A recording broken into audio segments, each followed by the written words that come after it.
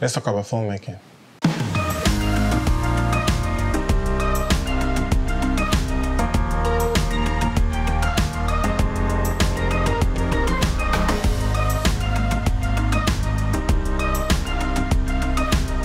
So we are back, we are back, we are back, we are back. And it's been what? One, two, three, four, four weeks since my last video. And today we are going to talk about the Aputure 300D Lite. The Aputure 300D Lite weighs 2.1 kilogram. It comes in a well-packaged bag where everything fits perfectly. In the bag, we have a protector, a reflector, Yeah. a control board, a power box, three different power cables, a nice remote control.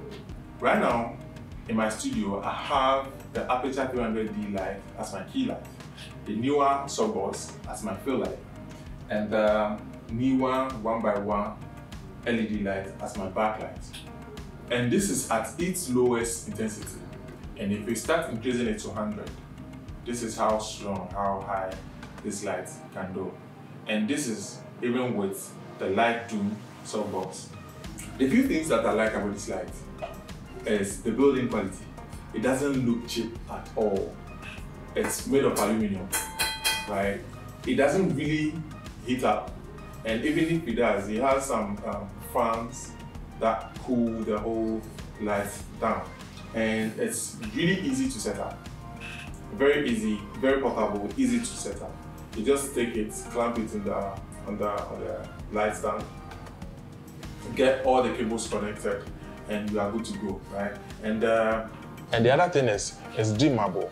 You can either use the remote control to control the light or use the control board to, to, to, to do it. And overall, the skin tone that it gives you is one of the best on the market right now.